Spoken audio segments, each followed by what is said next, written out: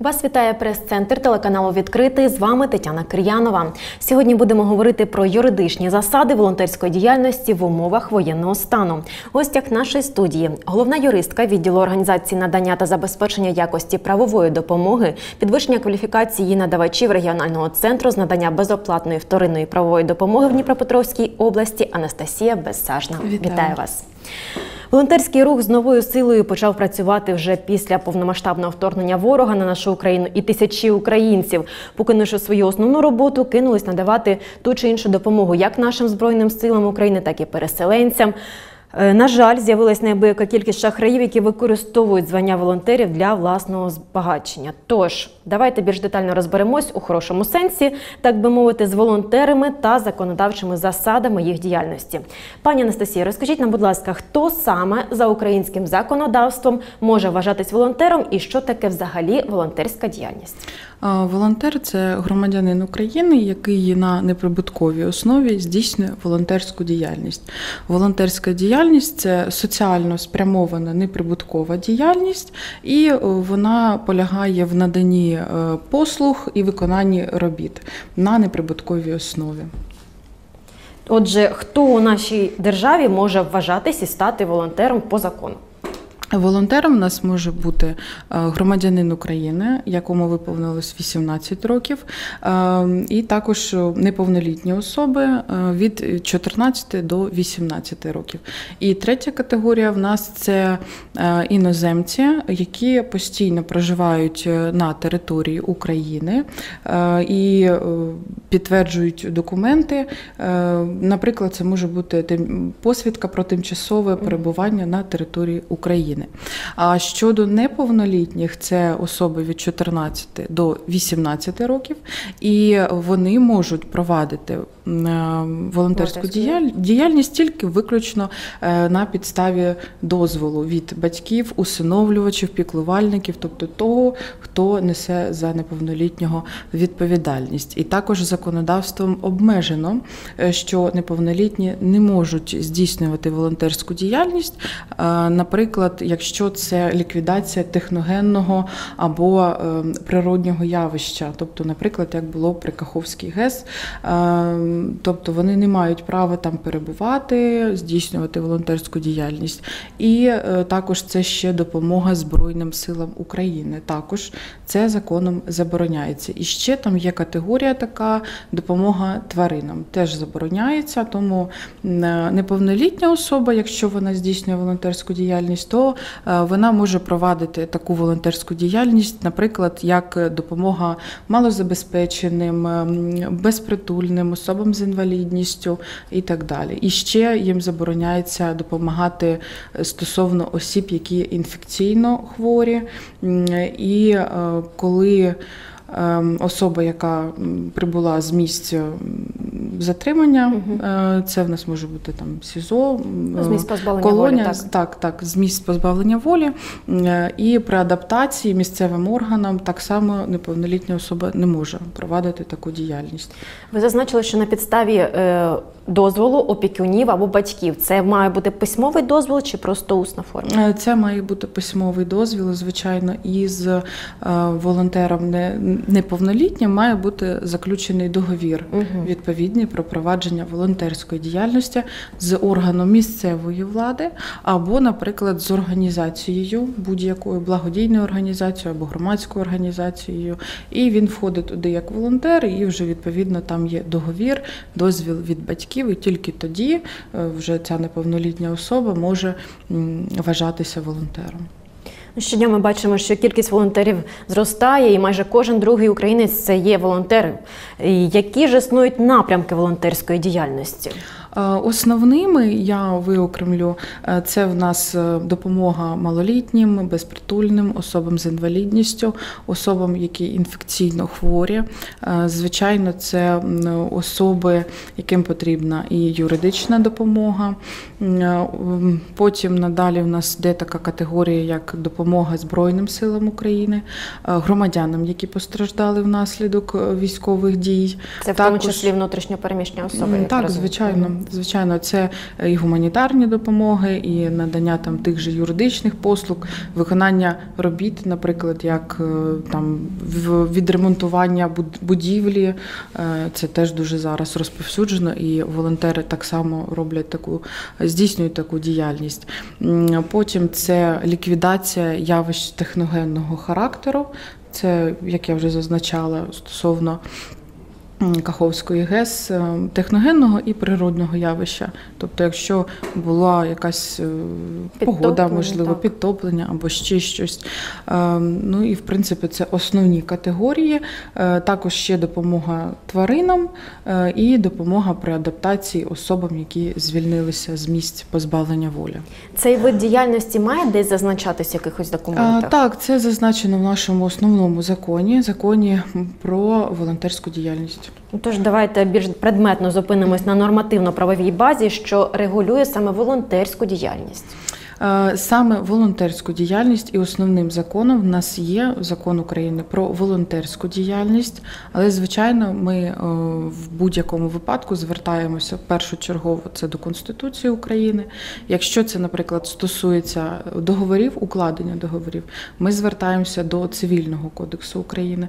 Якщо це стосується е, питання праці, трудових відносин, то ми вже звертаємось до Кодексу законів про працю. Ну і звичайно, це Кодекс про адміністративні правопорушення і Кримінальний кодекс. Чому волонтерську діяльність бажано реєструвати? Як це правильно робити? Бо не всі знають. Я думаю, що все ж таки це е, зроблено для того, щоб і ми, як люди, які ем, хочемо допомогти один одному в такій складній ситуації, е, щоб, по-перше, впевнити, що ці кошти підуть саме на допомогу, на благі наміри е, людям, а не просто в чийсь карман і шахраю. І для того, щоб все ж таки наша держава вела якийсь облік. І тому був е, створений цей реєстр. Він був ще створений за часів антитерористичної операції. Ну і звичайно, під час військового стану він і надалі працює і буде працювати. І тому дуже важливо внести себе. І, по-перше, це е, не тільки нас, як людей, забезпечить правдою, яка є, але ще й для самого волонтера. Тому що коли почався військовий стан, е, в нас е, дуже багато людей, які покидали свою роботу, покидали своє житло і почали вести свою не основну діяльність, а саме волонтерську діяльність. І почали збирати кошти в соцмережах, там в Фейсбуці, в Інстаграмі, в Тіктоці. Я це бачила дуже багато. І вони, звичайно, ем, в всіх цих е, своїх оголошеннях публікували свої розрахункові рахунки. На ці розрахункові рахунки почали поступати кошти, і це ж не тільки ем, розмір. Цієї, бо може бути і 5 гривень, Так. може бути і 100 тисяч гривень, але ще й кількість транзакцій. Цих транзакцій було дуже багато від 10 на день і до 50. А в нас в банках в кожного, звичайно, свої правила та умови, але стоїть обмеження. Що, наприклад, там, наскільки я знаю, в Приватбанку, е, якщо тобі більше ніж 50 транзакцій приходить, тобто неважливо, от навіть по одній гривні, але більше 50, то відповідно твій рахунок блоку- блокується, або якщо він не блокується, то в цьому випадку тоді е, банк, е, як, е, так як він має функцію моніторингу, він подає вам запит, і волонтер має відзвітувати, куди ці кошти пішли. І звичайно, що він просто надає виписку з цього реєстру з податкового, надає інформацію, що він волонтер, все добре, його зареєстровано, і він далі якби провадить свою діяльність на законних підставах. Тому цей реєстр я вважаю є дуже важливим е, в нашій державі. А у випадку, якщо не зареєстрований і не внесений в реєстр, то дуже складно буде Дуже юридично складно. так довести цільове використання саме цих Е, коштів. Цільове використання можливо і можна. Були такі випадки. Дуже багато і до нас з таких питань теж зверталися люди. Їм теж потрібно було реєструвати і просто показати чеки, куди пішли ці кошти, або на який розрахунковий рахунок вони їх перерахували. І, і тоді, якби податкова не має до них ніяких питань, е, і вже відповідно е, банк так само не має ніяких питань, ви є в реєстрі і все. Так. Тому ось так. Пані Анастасія, роз'ясніть, будь ласка, як правильно йде відбувається оподаткування коштів, що збирають волонтери? Як ця система працює? Е, Якщо раніше волонтер е, мав кошти, які надходять на на рахунок волонтера, вони мали оподатковуватись. Це в нас ПДФО, і цей податок у нас займає 19,5%. То наразі були внесені зміни. Я не пам'ятаю точної дати, але здається, десь приблизно в 2016 році, що кошти, які поступають на рахунок волонтера, вони не підлягають оподаткуванню. І відповідно, ось цей реєстр з цим і допомагає. Тобто волонтер зобов'язаний в податкову е, надавати щорічну декларацію е, і відповідну е, форму відзвітування, куди ці кошти цільові надійшли. Це як гарантія, можна сказати, так для людини, для волонтера, яка займається допомогою. Яким же чином потрібно укладати договори з волонтерами і які вони бувають? Е, Це є договір, е, він в принципі стандартний договір про провадження е, волонтерської діяльності або про здійснення волонтерської діяльності.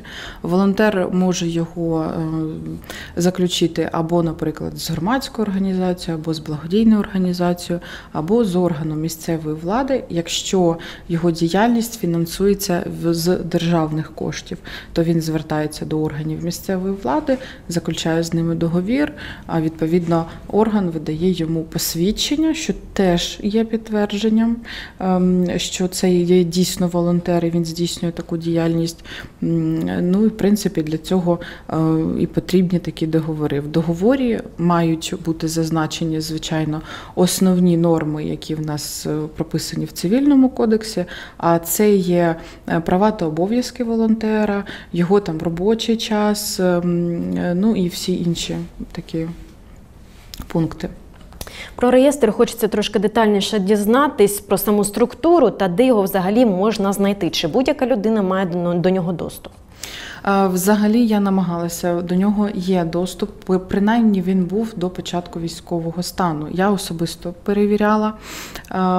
Це він знаходиться в нас на сайті податкової служби. Я туди заходила і в особистий кабінет через е, електронний підпис, але на жаль, він зараз в закритому доступі. Е, Тому для підтвердження виписка надається безпосередньо самому волонтеру, або, наприклад, за запитом будь-якій іншій особі. Чи є людина волонтером, чи ні. Чи може звичайна цивільна людина, громадянин України перевірити е, правильність, е, що це не шахрай е, допису, припустимо, в соцмережі, що збір коштів на волонтерську діяльність, там на дрони чи на ту саму цільову допомогу е, без цього реєстру якось перевірити? Е, Ну, є декілька варіантів. Е, Ось немає доступу до реєстру. Перший це, звичайно, писати запит. Я розумію, що це е, займе дуже великий термін, тому що Запит потрібно на податкову? На податкову, так. Ем, Це дуже займе багато часу, тобто потрібно писати запит, потім, потім відправляти його або електронною поштою, або поштою е, такою е, звичайною. Е, І е, потім чекати протягом 30 днів або може і більше ем, відповіді. Е, Ну і залишається тоді варіант просити документи у самого волонтера. Випис, ту саму виписку з цієї з, Реєстру, з так? цього реєстру Мгм. самого. Е, Ну і звичайно, посвідчення може в нас ще бути підтвердженням. Ну і тоді вже переконатися. Але я вважаю, якщо ви дійсно сумніваєтесь, то краще вже ем, звертатись до того волонтера, до тієї благодійної організації, яку ви знаєте, яку ви розумієте, і знаєте, чим і скільки вони цим займаються. От людина, яка провадить волонтерську діяльність і до цього не стала на облік в реєстрі, які потрібно йому для цього документи, щоб що повинен зробити волонтер, аби зареєструватися? Е, Це така стандартна процедура. Йому потрібно звернутися до органів е, податкового е, до податкової за місцем свого проживання.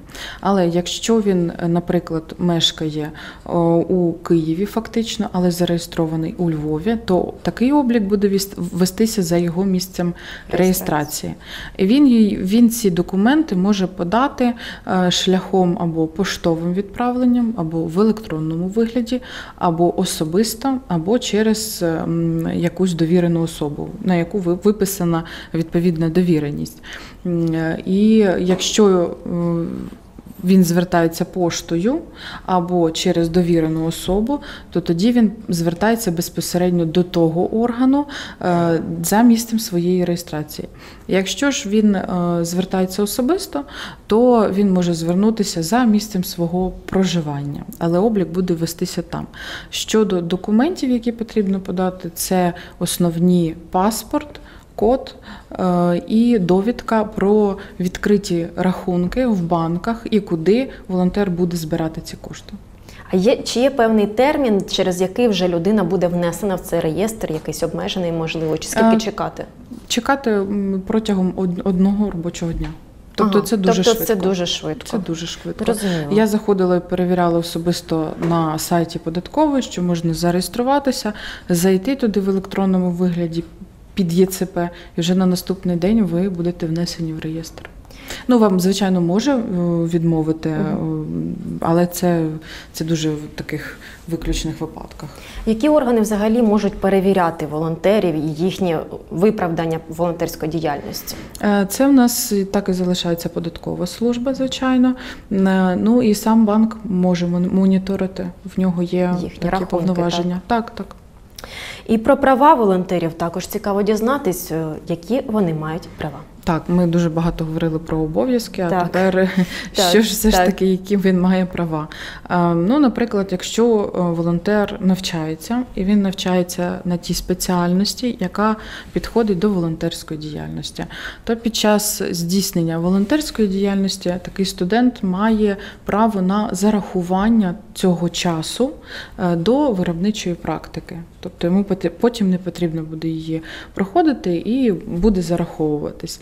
Далі це, звичайно, залишається питання, що волонтер і він має право на, е, на дізнатися про істинні ем, якби. Обставини людини на е, інформацію, тобто, якщо людина звертається, то вона має відповідно надати там підтверджуючі документи, що дійсно вона там, наприклад, постраждала від війни. Їй потрібно там відремонтувати будинок.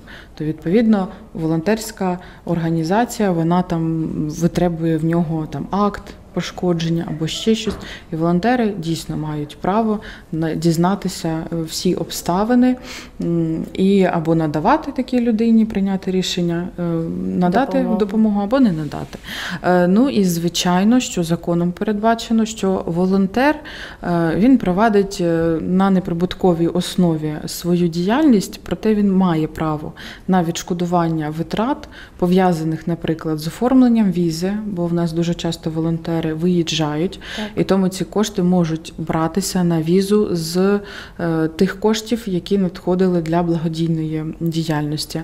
Також це, звичайно, відшкодування Пального, пального так, е, якщо він у відрядженні, наприклад, тобто це готель, е, це звичайно. Якщо йому потрібно, йому ж потрібно і їсти щось, якщо Звісно. він більше 4 годин, то він, звичайно, Чи є має обмеження право. в сумах на ці Ні, витрати? Немає. Ні, обмежень, на жаль, немає. Такого законом не передбачено, але я думаю, що все ж таки це має якусь розумну Так. е, суму. Так. Ну і нарешті ще одне важливе для самих волонтерів питання: як же роботодавці повинні оформлювати трудові відносини з працівником, який волонтерить? Е, Це питання теж дуже розповсюджене. Дуже багато хто покидав свої робочі місця, провадив е, волонтерську діяльність. І От, наприклад, якщо волонтер працює неповний робочий день е, і провадить свою діяльність неповну. Неповну діяльність, Неповна то він, зайнятість так, неповна робоча, так. зайнятість, наприклад, то він може е, звернутися до свого роботодавця, е, і відповідно роботодавець виносить наказ. Це може бути в нас або дистанційна робота, або гнучкий графік, або неповний робочий день. Це передбачено в нас кодексом законів про працю, тому тут ми забезпечені. Дуже шкода, що законодавством не передбачено якихось соціальних гарантій за волонтером. е, На жаль, не зберігається його е, робоче місце, середня заробітна плата, тому е, приходиться домовлятися.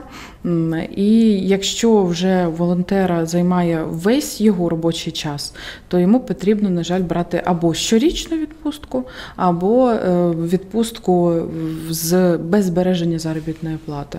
Тому такі обставини, якби е, тут же потрібно домовлятися. Проте я думаю, що все ж таки всі зараз розуміють, що в нас дуже складні часи, і потрібно ем, якось об'єднуватись. порозуміння, так, так, так, людське порозуміння. Я думаю, що багато хто їх все ж таки знаходить. Звісно, дякую вам за це.